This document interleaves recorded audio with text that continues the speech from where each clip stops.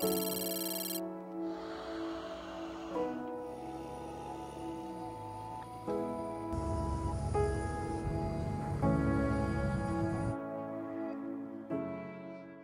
means a lot to Norse, it means a lot for all our employees, uh, our explorers. We are the Explorers Airline and uh, now being uh, the first Norwegian civilian aircraft ever going to uh, uh, the Antarctica is a really big uh, acknowledgement of our competence and also the spirit in, that, that's in the company.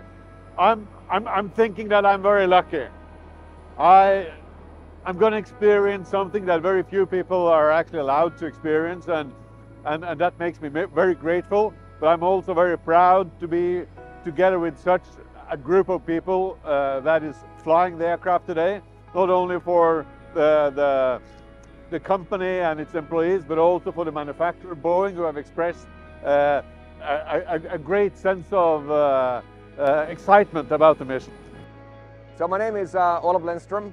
I am a 787 captain and the fleet chief pilot of uh, Norse Atlantic. With me I have a very, very experienced crew. Landing with me next to me on landing is um, Captain Mattia Fracasso. I have with me uh, Captain um, uh, Kjetil Risan. Also have First Officer uh, Alexander Helge.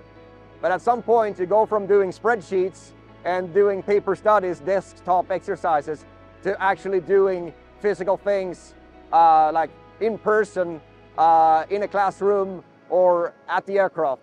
So we um, we started with, um, in October already, we wanted to make sure that the staff down in, uh, in Antarctica at Troll Station are able to handle this aircraft.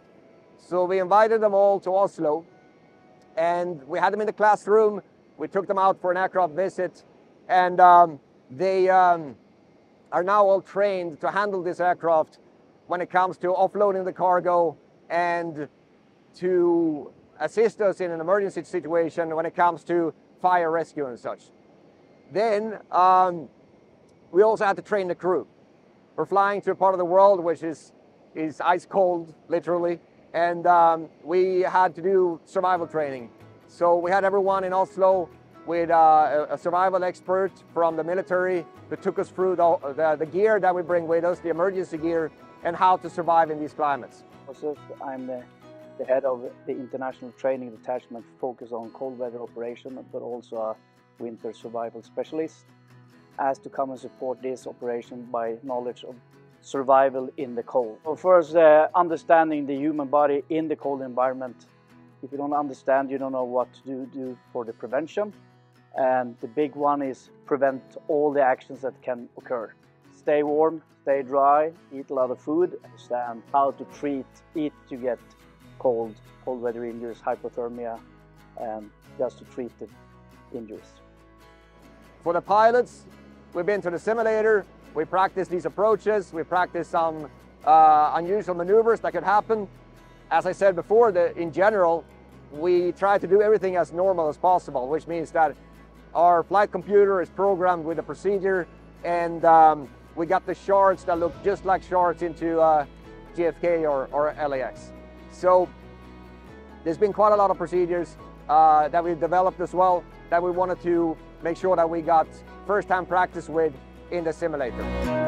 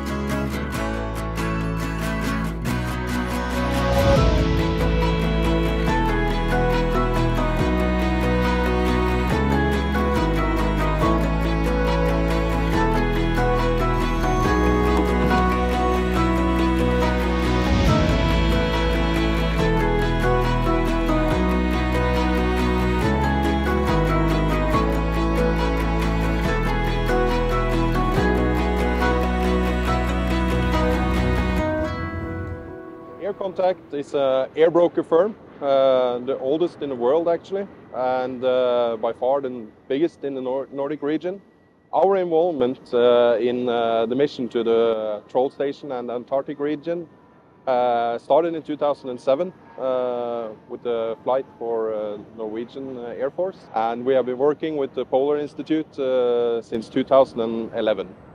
Uh, in 2012, we started uh, uh, with the regular flights into the Troll base with civilian operators, uh, and since then we have on yearly basis done uh, five to ten flights with uh, different uh, types of aircrafts A couple of them is, of course, that uh, you have the Dreamliner, which is uh, very sufficient for uh, doing such a flight.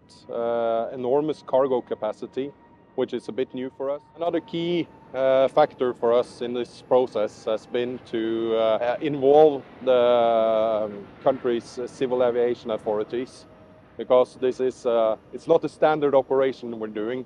So having the backing and the security aspects with the CAA in, uh, improvements is also a key factor to build up the quality of the whole operation uh, for such uh, distant location.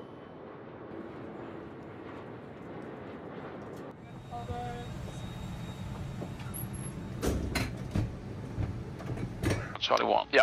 Right side, left side clear. Right side clear.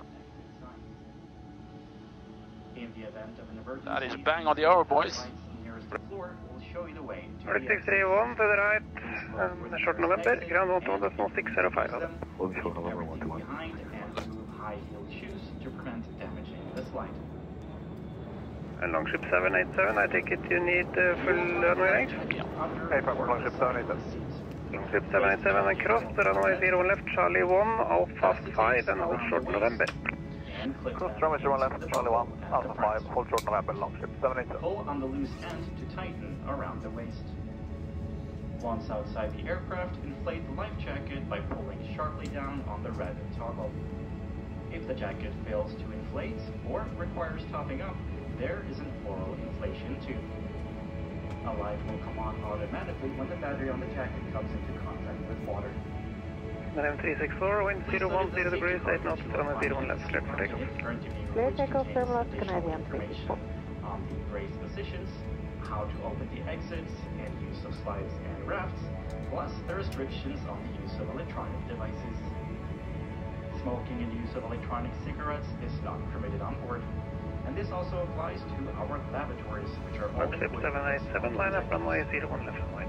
Finally, Line up tell 01 them left and what's wait, flight longship safe 787. and comfortable. Line up and wait. So one left. We got uh, traffic along fine left side here. Okay. Crew are followed.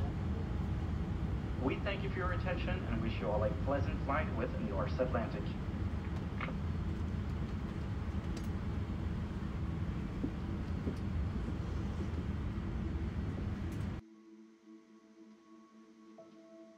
Tower Nordic 60 Victor, go and take establish ILS 01 left. Nordic 60 Victor, tower hello, continue approach. Continue approach Nordic uh, 60 Victor.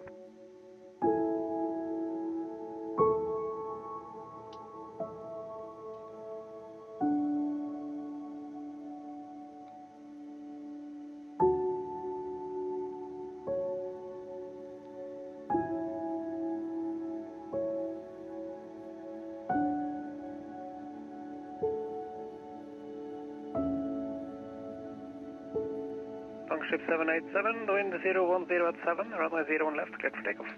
Now it's 01 left, clear for takeoff, Longship 787. Clear take Give it off. M364, Take off lights on. 118.475, over. 118.475 Canadian uh, 364. Got it. Set takeoff thrust. Thrust ref. Check.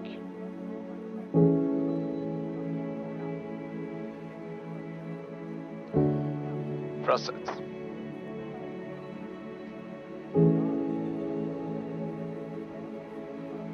Eighty knots. Check. Hold.